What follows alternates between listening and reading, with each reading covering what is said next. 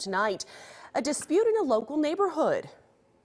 Who wants to live in a neighborhood you got to drive past this every day? It's it's disgusting.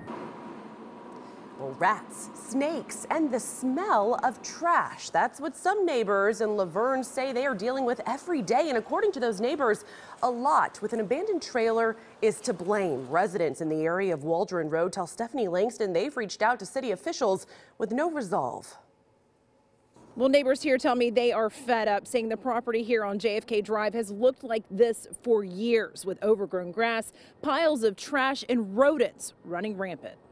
It's awful. It's awful. Ask anyone on the street, and the feeling is mutual. It's disgusting. it's disgusting. Calling the site an eyesore with tarps covering piles of boxes on the front porch, as well as trash around the overgrown property.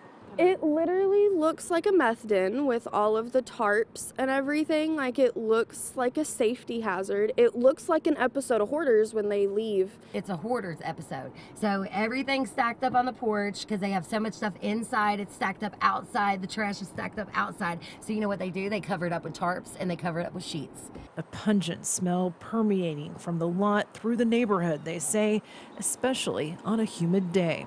Oh, you can smell it. It's awful. It's awful. Yes, it's awful. There's probably dead animals under those piles of trash. But they say there are plenty of living animals as well, and they've made their way from the abandoned lot into their homes. It's causing rodents, snakes, bugs, uh, and then it's infesting the whole neighborhood. It's like it's breeding a new type of animal.